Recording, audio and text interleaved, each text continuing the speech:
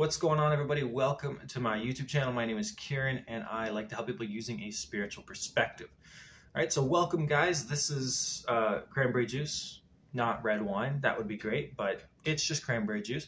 Outside, I don't know if you can see, probably not. There's a glare or something. It's snowy, cold, and uh, miserable, maybe? I don't know. I haven't been outside yet, but it's probably miserable. Let's assume that winter in Canada is miserable because it usually is. Okay, right now it'd be great if I was back in California on a beach drinking a pina colada and just getting absolutely shit faced on rum.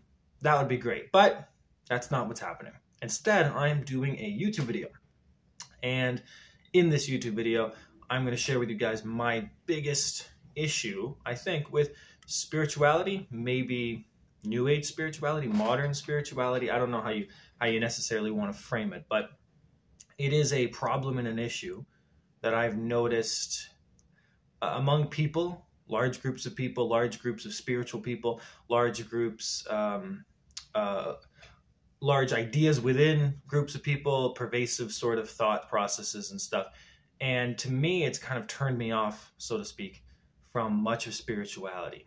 And that, what I've noticed, okay, what really tripped me up, I think, probably about halfway through this four four and a half year spiritual awakening journey is the concept of manifestation or i.e getting what you want.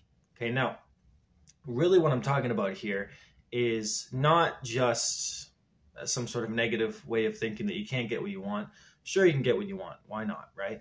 Uh, however spirituality is almost been hijacked into such a uh, such a way of existing that it seems that all that's pressed into people's consciousness that's that all we're supposed to focus on is getting things getting what we want. Spirituality has become a law of attraction bonanza. It's become this, this insane kind of way of using all of our intuition energy time thoughts emotions to get things okay a new laptop, a new car, a new job, a dream home, money, love, right? This this idea of love and spirituality, attract our twin flame, get our soulmate. It's hijacked a very basic process and probably a more fundamental truth of spirituality, which is that to me, spirituality has never been about obtaining things. Okay? Because one, you could do that anyway. That's been existing for thousands of years, the idea of obtaining things. Uh, instead, spirituality has always been about accepting that you don't have things, okay? Or at least one way of putting it, right? Acceptance of things, accepting what you don't have, accepting what you do have, accepting that you're imperfect, accepting that you're okay, accepting that you have weaknesses and strengths, accepting what happened, accepting what might not, etc. Okay?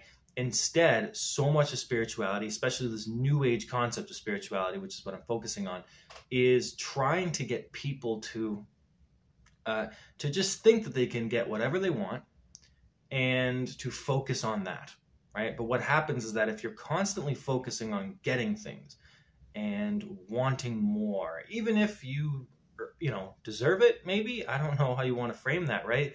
Do we deserve things? Or we tend to judge ourselves so much based upon whether we're a good person, right? So A lot of people that I've met, talked to, uh, seen, you know, spiritually awakened people that they judge themselves a lot based on if they're a good person or not. And so their manifestation success seems to almost relate directly back to their own value as a human being. So the worse that they feel about themselves uh, as a person, the less that they seem to receive. Um, and yet at the same time, of course, people are being taught that it's not about accepting who we are the focus has been placed somewhere else, right? The focus has been placed on obtaining things, which is a shame because at some point in your spiritual journey, if you're like me, drinking cranberry juice, you will probably come up uh, upon some obstacle that can no longer be uh, can no longer be conquered, or the solution can no longer be found in information, right? God, cranberry juice is sweet. This is sugar. Uh, so, what's what I mean by that, right? At some point, you come across an obstacle, And before, information helped you. Law of attraction helped you. Manifestation helped you. You could manifest a positive feeling. You could vibrate higher, all that other stupid shit. But at some point, it just seems like it's not helping. Nothing's working.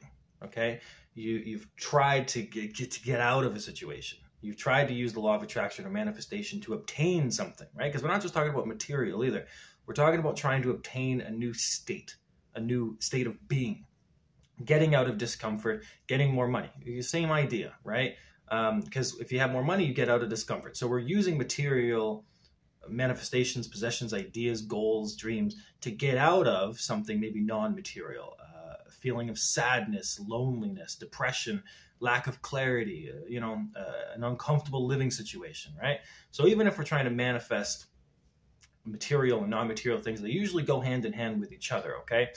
And the biggest issue with that is, you know, when you when you can't find a solution, well, what are you supposed to do? So you lose so much of your progress, it seems, in your mind because you things used to work and now they don't, because you come upon problems that maybe are a little bit more difficult, maybe not, but you come up to this realization that you can't get new things with old emotions, right? Typically. So all you really have left is to change your emotions. And you can't change your emotions unless you go through something difficult, unless you do that shadow work or you lower your vibration, right? I really hate that those ideas of vibrations. I think they're absolutely nonsense. But you can't you know do any of that stuff. You can't get through a tunnel if you're not willing to go into the dark okay? So you have to deal with yourself. You have to deal with your emotions. And if you're not willing to deal with your emotions and go through this type of discomfort then nothing that you want is going to come anyway. And we're very bad uh, we're very bad at, at thinking we know what we want oftentimes we get what we want we don't like it you know sometimes the things that we didn't want, we end up liking. So we're not very good at, at judging what we want or want. Okay, so we, we would want what we might not like. We're horrible at this. Humans are very bad at this. So as to why an entire section of spirituality is dedicated to getting what you want is not a good thing. Okay, it would be much better to not get what you want, but you know, not get what you want anyway, but to go through a period of transformation and come out the other side someone who cares less, is more at peace and understands themselves more. That is infinitely better than just being handed $10,000 or a dream job or a new partner or whatever, uh, and, and then not actually having changed as a person at all, because that's not really spirituality. Otherwise, it's, it's just it's just blatant materialism, and we probably have enough of that.